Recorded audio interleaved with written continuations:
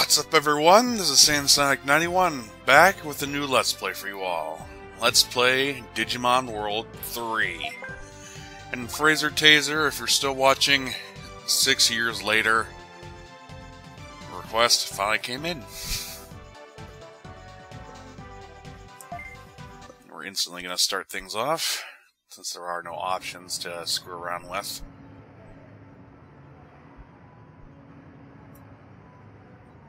We'll, we'll get more into bits and pieces of the game a bit later.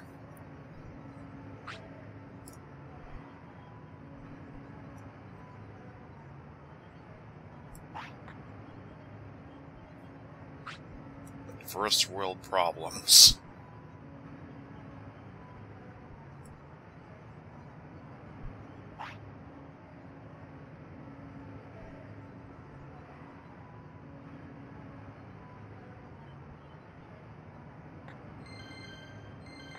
This just in. The main character is an obnoxious piece of crap.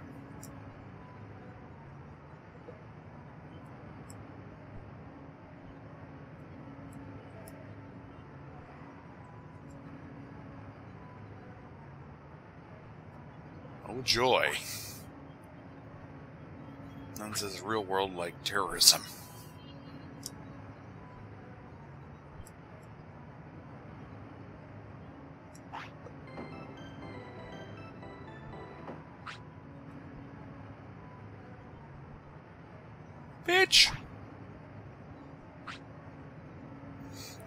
My hand in anger. I've fat both my hands in anger. oh, God.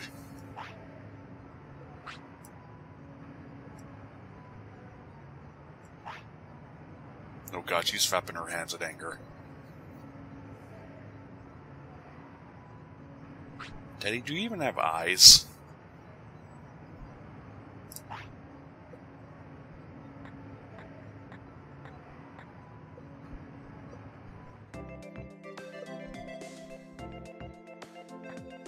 The last we ever see of this place.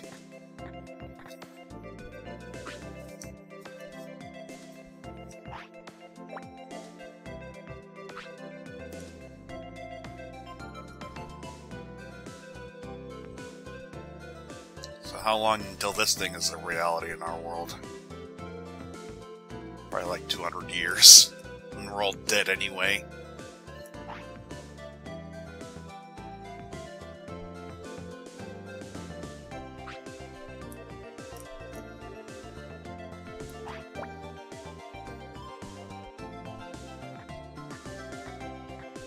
You have to set up an account online?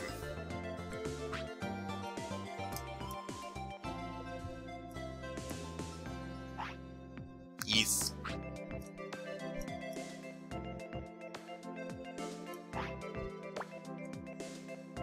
Sweet.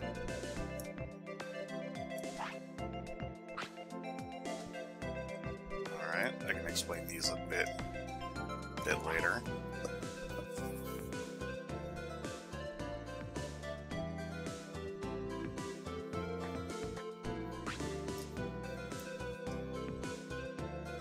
Like all of them.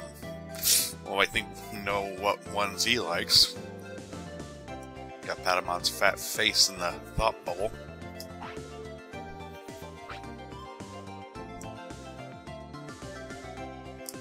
It's not that simple. Hey, Guilmon. Except Numamon. He's an ugly piece of shit. Along with Sukamon, who is an actual piece of shit.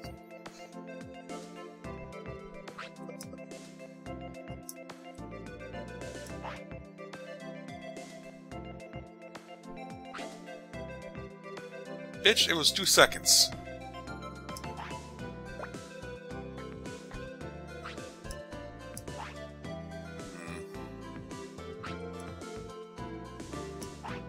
Why do you all have to go in at the same time?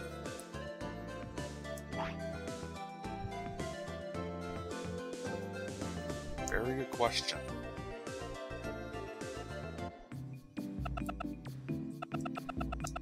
Pretty sure they choose a different icon instead of that.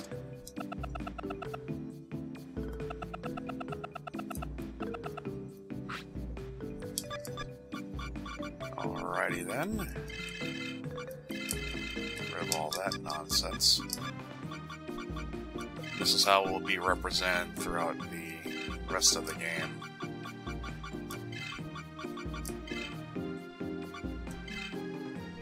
Now, about the whole choosing a pack thing. All in all, it really doesn't matter which one you pick, because you'll eventually be able to grab all of them. So just choose the ones where you're more that are more favorable to you to start with. Uh, like they said, balance pack is obviously with balance. Kotemon has very good attacking stats and can heal itself. Renamon is basically your black mage, and Patamon is essentially the white mage. Uh, powerful pack basically only goes for attacking, since there is no healing right off the bat. And Manic Pack is. It's a bit odd in them saying you can only count on Patamon, considering Kumamon is very physically strong, but it doesn't know very many uh, techniques. Guilmon can actually go in a variety of ways. Odd moves. I don't know where that the hell where that's coming from. And Patamon is obvious, since we just explained it. I'll go safe and choose the balance pack.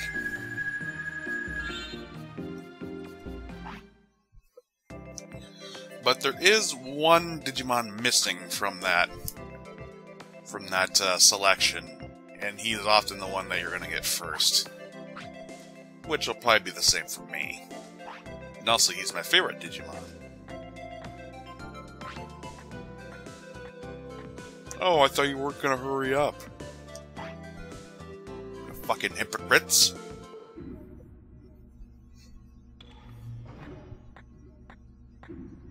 Hey, Saiyan pods.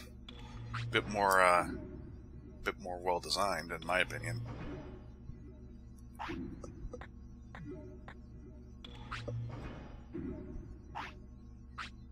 Saiyan.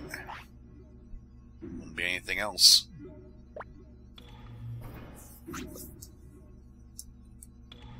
Why they all look like like high-tech nurses? The hats really serve no purpose. Later, fuckers. One pod sits one. You can't come in.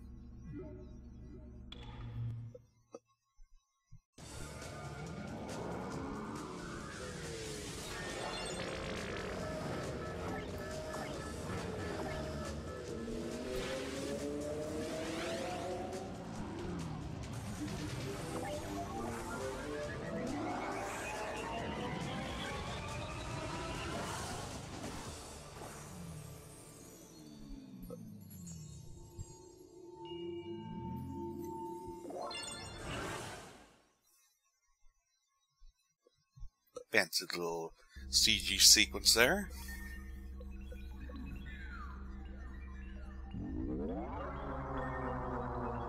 And here we are.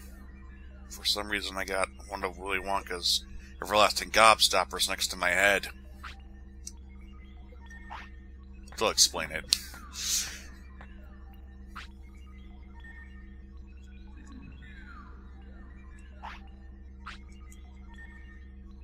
Shit, that's why you're here, genius.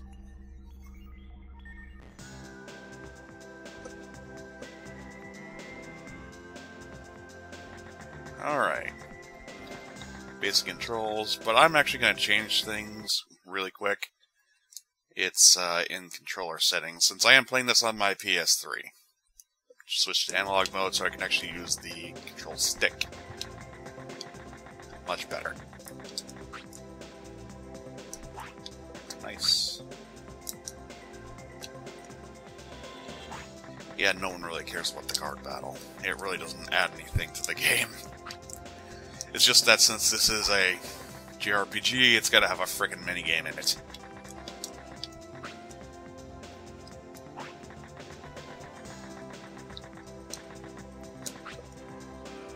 Oh, it's a satellite.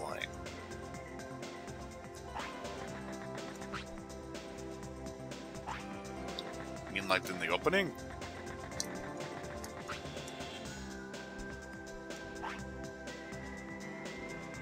Alrighty then. Um, what's the objective? Simple enough.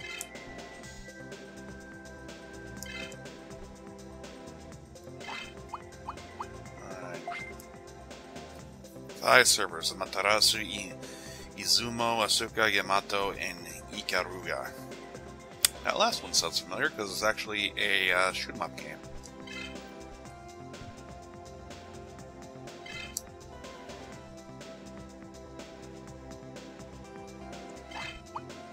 City guide. Their shops, inns.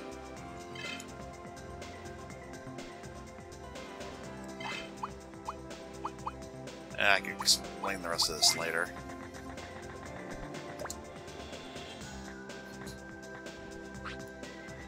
Need my partners. Well, can't go on with the game unless we do so.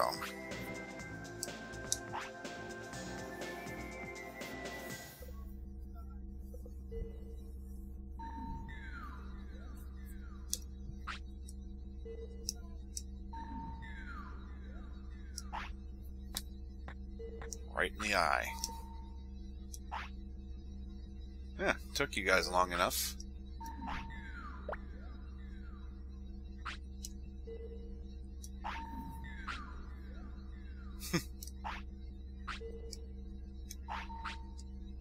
Kail.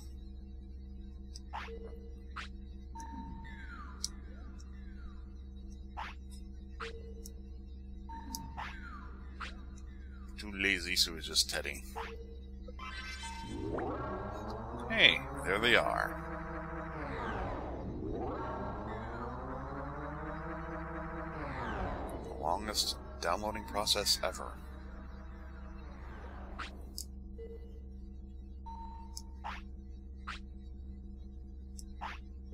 You know, I don't think that ever gets explained.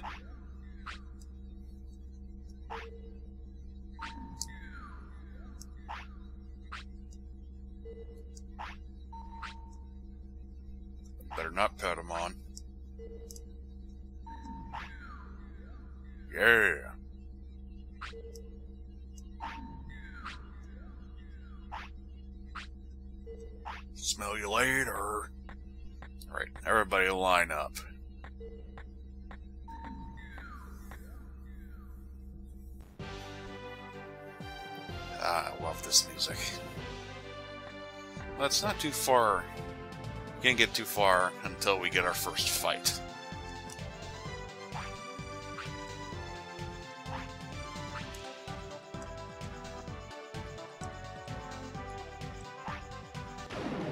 You have no idea how right he is.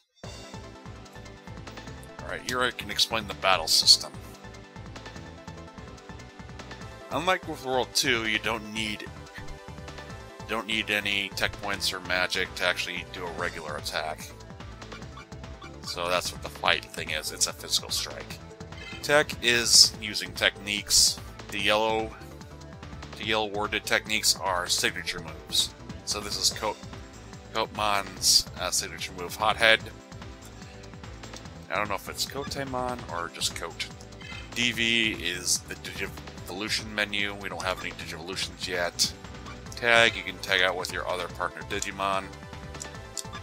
Item, use an item, and run is obvious. So this is a physical strike.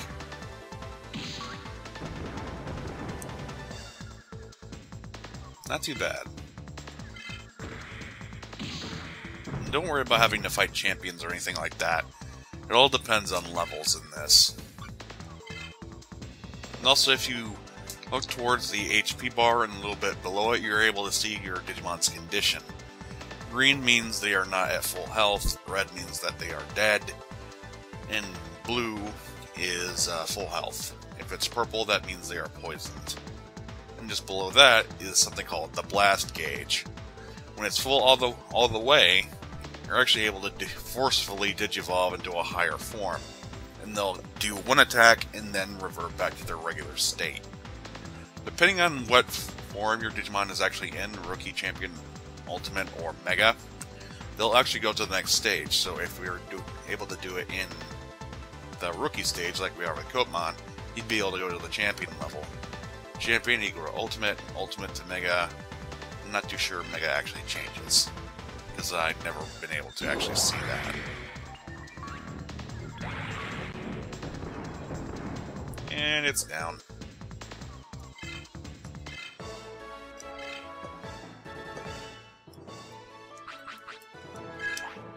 Only four experience for beating a champion? What the fuck? Yeah, it's a pretty easy fight. You can just win with two, two regular attacks. There's no way to lose unless you intentionally just screw around.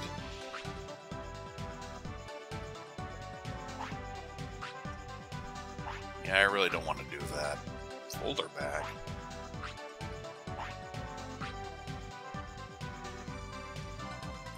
card battles. I don't need that trash.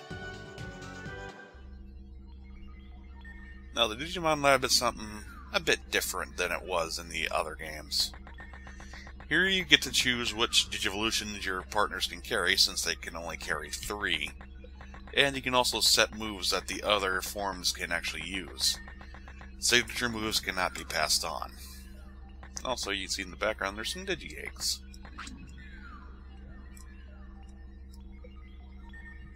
Yeah, that's true. It sucks.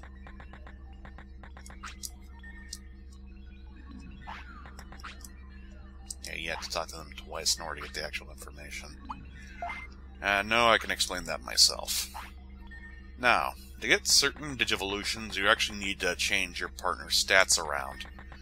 Meaning they had to have higher affinity for one thing or another.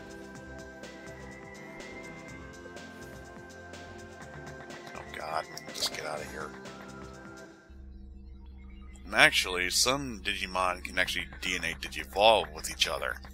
I don't have a full list, but you're able to tell that one of your that uh, one pair of your Digimon can actually DNA Digivolve by looking at the tag menu when they're at champion or higher.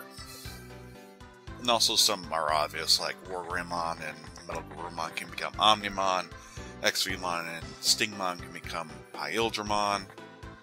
Pretty simple stuff. Beomon.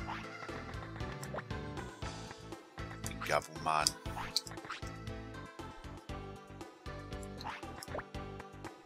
Unfortunately, not all Digimon are actually available to get in the game, such as with these three.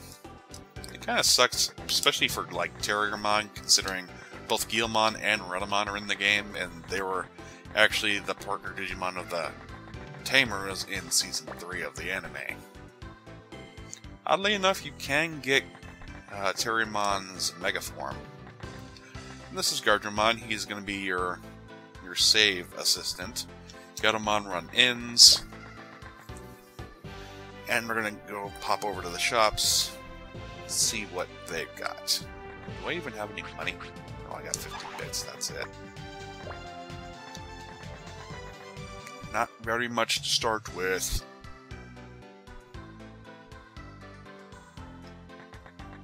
Here we have Gargomon. He specializes in the armory. Gomon has the pawn shop, which basically means accessories, and Wizardmon holds the item shop. Do we have anything? Can I actually buy anything here?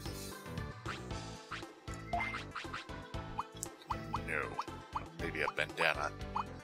And also, I just keep on saying that, yes, but also, every Digimon can only hold a certain type of equipment for ones like Agumon, Guilmon, and another later on, they can hold like daggers, and they can use stuff like bandanas, helmets. But for ones with specialties like Kotemon, he can grab uh, sh short swords or katanas. The other glove is for Kumamon, and bow slash gun weapons are for Mon Mon. Or Mun Mun. And rods and spears are basically held by Renamon and Patamon. But pretty much anyone can wear special, uh, non-specialty armor. But that's going to be a while before we can actually grab that. And yes, you can press the circle button to see who's actually going to be affected and who can actually equip it.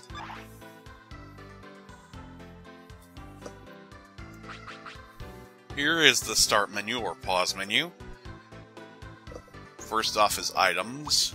That's kind of obvious. You can use items. Uh, sort. That is the way you can actually switch around your party. Seeing as though they don't all attack at once like in Digimon World 2. It's one-on-one -on -one fights. So if you want another one to take the lead, you have to sort your party around. Map, you can see where you are on the map. Oddly enough, you're not going to be using this to uh, fast travel or anything, it just shows you the locations that you've been to. It is not that big of a location, honestly. Techniques, you can use special techniques, mostly healing abilities. Status, you can see the stats of your Digimon, see their equipment and their Digivolutions, change them around. Here's where we can explain the stats on the left. The fist represents physical power. The shield represents physical defense. The fairy represents um, magical uh, acquitativeness, how good you are at magic. The gold bar, or whatever the hell that is, don't really tell what that is, is magical defense. The streaking star is speed, and below that is charisma. Charisma doesn't really play that big of a part in the game, aside from just uh, playing with card battles. Now, for the other column, fire represents um, obviously, fire tolerance. Yeah, these are all tolerances. There's fire, water, ice, wind, electricity, metal, and darkness. As you can see, Kotemon has a very high tolerance for water, but not that big of tolerance for ice or wind. Now with Renamon, her highest tolerance is ice, but her lowest tolerance is machine, since she's more of a spiritual Digimon. And as you can see with her regular stats, she's very high in uh, magical attack, since again she is the Black Mage. And adequate speed as well. Patamon, he's kind of all over the place. He has very high uh, spiritual or magical defense, but very low physical attack since, well, he is the white mage. Okay, I think that's the gist of things.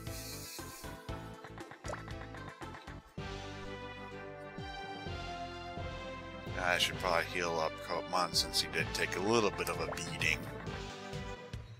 And thankfully the the sleeping animation is friggin' quick. Thankfully, it's cheap, only being 8 bits. For Digimon, at least. Yep, if you want to save, you gotta talk to Guardromon. There is no other way to save in the game. Before we move on, we should explore a little bit more of the city. What do we have here?